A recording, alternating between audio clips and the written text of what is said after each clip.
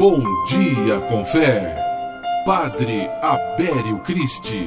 Bom dia! Bom dia com fé para você que está na 105 FM. Hoje vamos meditar com o Salmo 91, porque aquele que habita no abrigo do Altíssimo descansa à sombra do Todo-Poderoso. E pode dizer ao Senhor: Tu és o meu refúgio e a minha fortaleza, o meu Deus em quem confio. Acredita, ele o livrará do laço do caçador e do veneno mortal. Ele o cobrirá com suas penas e sob as suas asas você encontrará refúgio. A fidelidade dele será o seu escudo protetor. Você não temerá o pavor da noite, nem a flecha que voa de dia, nem a peste que se move sorrateira nas trevas, nem a praga que devasta ao meio-dia. Mil poderão cair ao seu lado,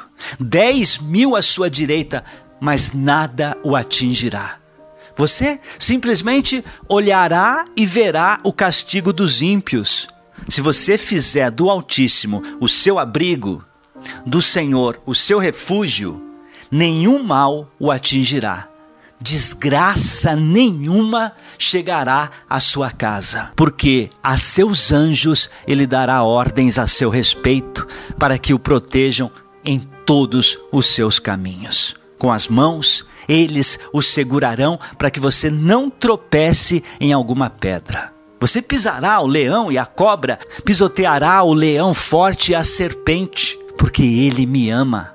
Eu resgatarei, eu o protegerei pois conhece o meu nome. Ele clamará a mim, e eu lhe darei resposta, e na adversidade estarei com ele, vou livrá-lo e cobri-lo de honra.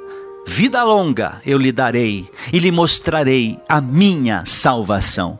Glória ao Pai, ao Filho e ao Espírito Santo, como era no princípio, agora e sempre. Amém. Salmo 91. Aquele que confia no Senhor não precisa temer mal algum, porque o Senhor estará com ele, lhe protegendo, lhe guardando. Nenhum mal chegará à sua casa, nenhum mal chegará à sua família.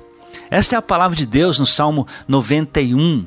Ele enfrentará sim os problemas, mas sairá vitorioso. Terá vida longa e a salvação de Deus. Vamos acreditar e confiar no Senhor e crer né, que o Senhor está conosco em todos os momentos, que Ele não nos abandona, mesmo naqueles momentos mais difíceis, mesmo nos momentos de sofrimento, de doença, de morte, de dificuldade financeira, o Senhor está conosco. Eu quero acreditar e acreditar sempre nesta verdade. Creia você também. Amém? Que Deus abençoe você, que Deus abençoe também a água que você colocou perto do rádio. Através dela seja hoje lavado, curado, restaurado, em nome do Pai do Filho e do Espírito Santo. Amém, amém, amém. Um grande abraço e até amanhã, se Deus quiser, com mais um Bom Dia com Fé. Bom Dia com Fé. Padre Abério Cristi.